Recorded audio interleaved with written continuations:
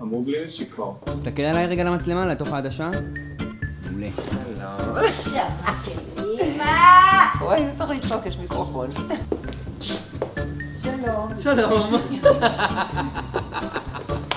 את הורסת, את הורסת. תשובות קצרות, ארוכות. מעניינות. רואים לי את הנעליים? אמ, השקעתי, השקעתי. רואים? כן, רואים.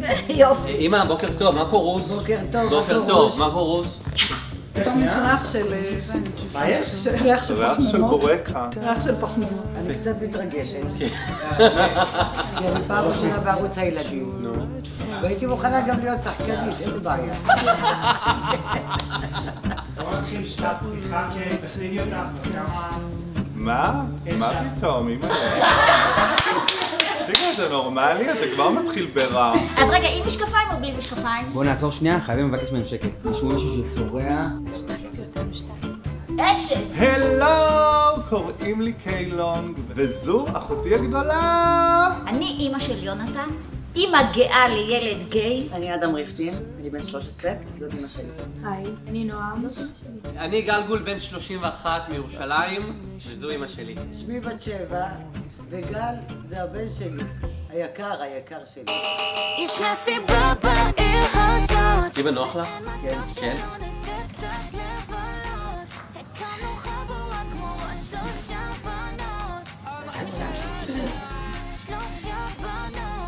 מתי הבנת שאתה הומו? כבר מכיתה א', תמיד היה לי רגשות לבנים, הייתי מתרגש ליד בנים, היה לי פרפרים בבטן. הבנתי שאני מרגיש דברים שאני כביכול לא אמור להרגיש. נראה לי סביב עוד כיתה ז'. מתי הבנתי שאני הומו?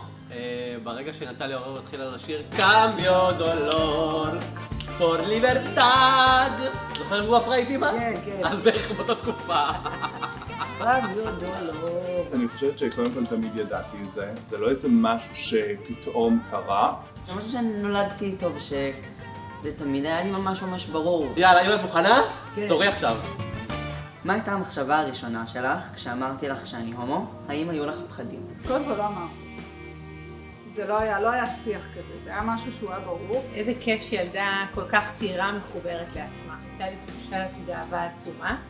הפחדים הגיעו שבועיים אחר כך. ואז אמרתי לו, איזה ילד חתיך אתה, ילד זה ילד מקסים, למה אתה לא מביא לי עוד כלה? דגל אדום, ואז הוא אמר. לי, אמא, לא יהיה. ידעתי שכזה תחבקי אותי, ידעתי שתקבלי, אבל גם ידעתי שתגיע כאפה אחרי זה. חשבתי שתעיפי אותי מהבית.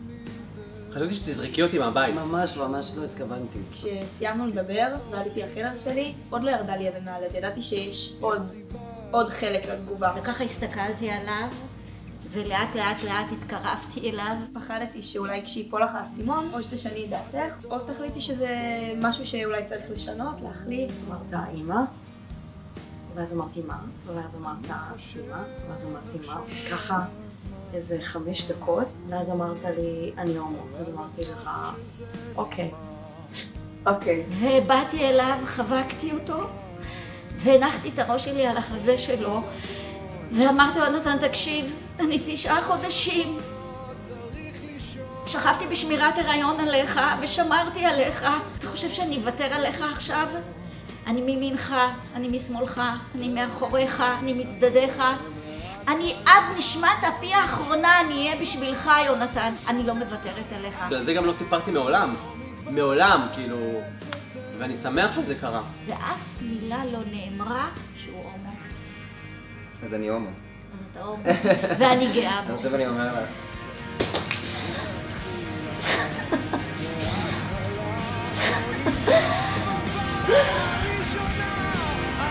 אני לא חושבת שאי פעם פחדתי...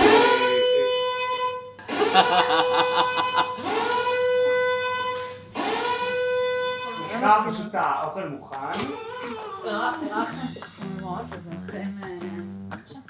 איזה יופי. לפתוח? יואו. יאללה, טוסט! למתוח את הגבינה? בדיוק. אה, וואו! חבל הזמן, מה זה? איזה רעיון מדהים! זה גבינה באמת? כן. איזה יופי. סליחה באמת. הופה. איזה זה משגע. איזה נחמד. מה, ואוכלים את זה גם? כן! אתה רציני? בתיאבון, אמא! בתיאבון? תיאבון מותק. נורא נחמד. נורא נחמד. עד שהתאפרתי עם הרימל, הכל נוזל. וואי, איזה צחוקים. אמא טורפת. אני